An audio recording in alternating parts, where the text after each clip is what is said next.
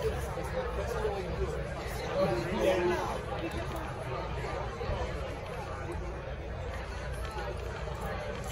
that looks actually good, dude. Yeah, it looks much better. Yeah. It does. It just brings it out. It looks like maybe blood around it. You know, you, you know, leave it to your imagination.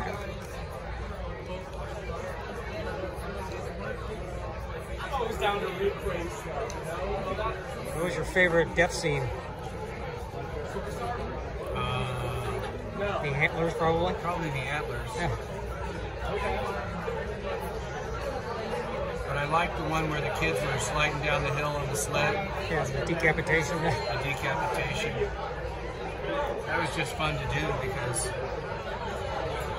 you literally got this cameraman, the camera sitting on his knees coming down the sled, and you jump out of the bushes and you know you got to swing that axe right over his head to make the shot right. You know what I mean? You did a side one. Oh yes. Naughty one. And uh, so that was tricky and fun. And then to watch it on film, to watch that head roll down the hill, you know.